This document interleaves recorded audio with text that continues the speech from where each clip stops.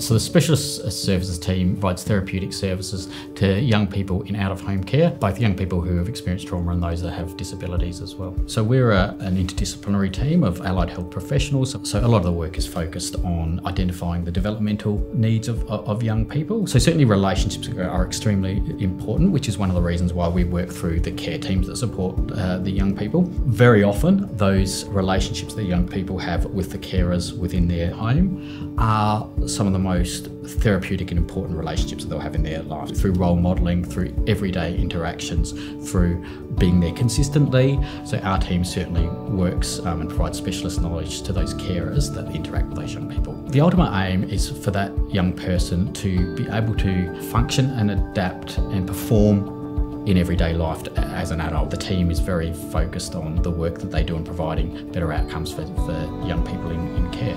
So, so I think they were too focused on the, the work to kind of be considering something like an award, but they were very appreciative and very grateful to, to be nominated.